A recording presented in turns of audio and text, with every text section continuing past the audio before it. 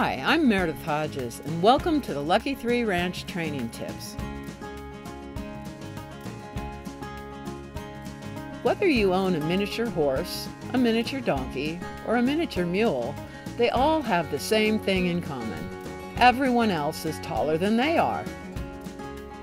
If you get down to your mini's level whenever possible, it allows him to make eye contact with you and he has no need for bad behaviors such as striking out and jumping on you. Right from the beginning, I work with my minis from a lower position in their pens during grooming, during trims, and throughout obstacle training so I can make eye contact with them and alleviate any fear they may have. And I always lavishly reward them with an Oats reward for their compliance.